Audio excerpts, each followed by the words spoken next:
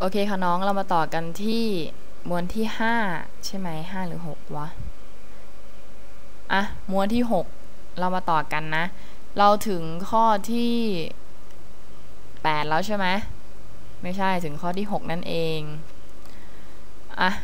ไม่ใช่เราถึงข้อที่ 7 เถียงเลยสิให้พี่พูดคนเดียวได้ เออ ใช่ไหมเพราะข้อที่ 6 คืออะไร คือ ecology ข้อที่ 7 คืออะไร คือเรียนใหม่ เอ็นโทโมโลจีแบบโปรโมชั่น entomology ลืม y entomology แปลว่าการศึกษาเกี่ยวกับแมลง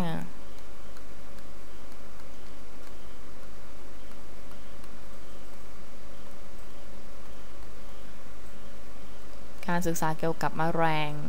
ภาษาไทยน้องๆนน่าจะเคยได้ยินนะคะ คือคำว่ากีตะวิทยา โอเคไหมลายมือสวยมาก กีตะวิทยาคำว่าตะอยากกี่ครั้ง ตะต่อเตาน่าอยากสองครั้งเนาะโอเค ต่อเปลี่ยนสีกัน แบ่งช่วง โลจีน่าเป็นการศึกษาเกี่ยวกับใช่ไหมแต่ entomo เนี่ยน่าจะคืออะไร คือมแมลงนั่นเอง โอเคไหมโยงซะมั่วเลย จบไปข้อ 8 นะ ใครจดไม่ทันก็สต็อปวิดีโอไว้ แล้วก็จด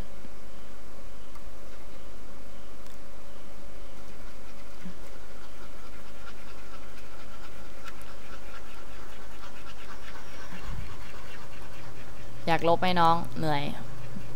ตอนแรกสนุกนะ สอนไปนานๆ แล้วเหนื่อยเหนื่อยโอเค จบแค่นี้แหละ ไม่ต้องสวยมากเบื่อเปลี่ยนสายของชีวิต มาดูกี้ได้ข้อ 7 ต่อไปก็เป็นข้อ 8 คือ e นะ m อู m บลิโอโร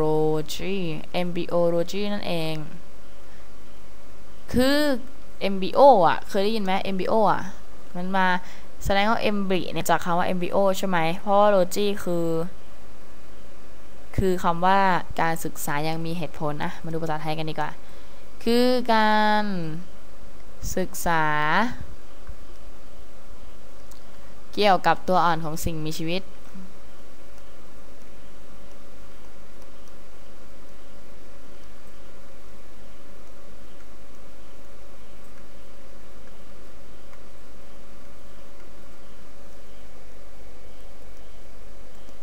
ซึ่งอะไร ซึ่งมีชื่อภาษาไทย น้องคิดว่าคำว่าตัวอ่อนในภาษาไทยเนี่ยจะแปลว่าอะไร ตัวอ่อน ตัวอ่อนอ่อนไม่ใช่ แปลว่า ขับพระนั่นเอง ตัวอ่อนในภาษาไทยเขาว่าแหละขับพระวิทยานั่นเอง โอเคไหมอะ จดไป เสร็จยัง จะขึ้นข้อใหม่นะแปะแล้วจะได้เร็วๆ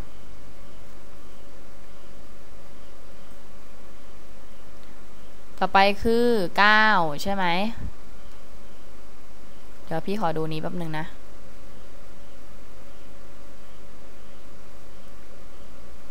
อืมสองร้อยสี่สิบเอ็ดสี่ร้อย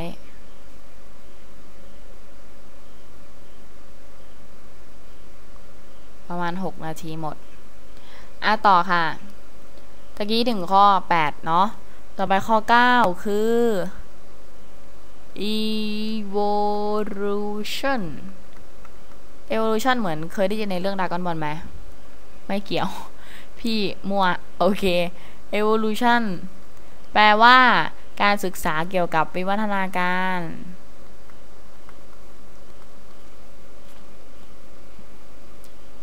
การศึกษา เกี่ยวกับวิวัฒนาการ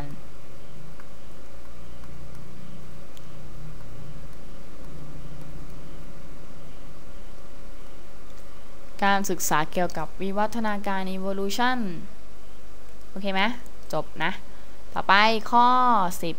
10ข้อ 10 แล้วคือ genetic ข้อ 10 คือ genetic genetic genetic คุ้นคุ้นไหมแมนเดลแมนเดลอะไรเงี้ย ศึกษา ลืมการ การศึกษา เกี่ยวกับอะไร การศึกษาเกี่ยวกับการถ่ายทอดลักษณะทางพันธุกรรม การถ่ายทอด ลักษณะทางพันธุกรรม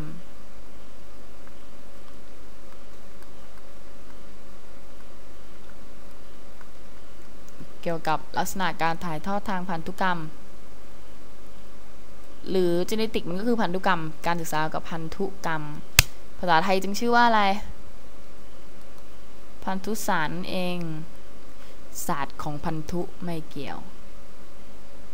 การศึกษาเกี่ยวกับพันธุกรรมนั่นเอง โอเค พันธุกรรมคืออะไรน้อง ดูไหม ไม่รู้ ย่อๆอย่างเช่น น้องมีหน้าตา คล้ายพ่อแม่อย่างเงี้ยก็คือพันธุกรรมเขาเรียกว่าการถ่ายทอดพันธุกรรมโอเคไหมอย่างเช่นน้องได้จมูกแม่มาอย่างเงี้ยก็คือแม่ก็ถ่ายทอดให้น้อง เข้าใจไหมแต่อืมช่างมันเถอะเดี๋ยวพี่จะค่อยพูดต่อละกัน ต่อไปสิบแล้วใช่ไหมต่อไปก็สิบเอ็ดเนาะแป๊บหนึ่งนะน้อง ครู่ซักสักครู่ ลบก่อน โอเคอ่าปากกาปุ๊บ ต่อไปข้ออะไรละ ข้อต่อไปคือข้อที่ 11 เนาะคือ histology นั่นเอง histology logy คือการศึกษา histo น่าจะแปลว่าอะไรรู้ไหมไม่คุ้นเลยไม่เป็นไร เพราะมันเป็นศัพท์ชีวะนะ คือการ คือการศึกษาเกี่ยวกับเนื้อเยื่อต่างๆ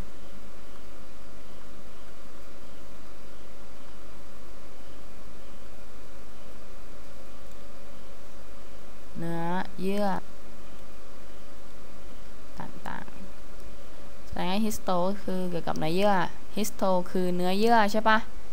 อืม พี่อยากผ่านไอ้สาขาให้มันเร็วๆเองเลย เฮ้ย ทำไมถึงพิมพ์ตกได้ขนาดนี้เนี่ย ต่อไปข้อที่ 12 ใช่ไหม12 คือ helminthology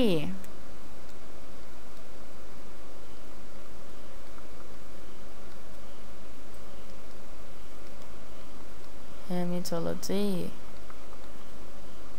คืออะไร คือการศึกษาเกี่ยวกับนอนและพยาธิ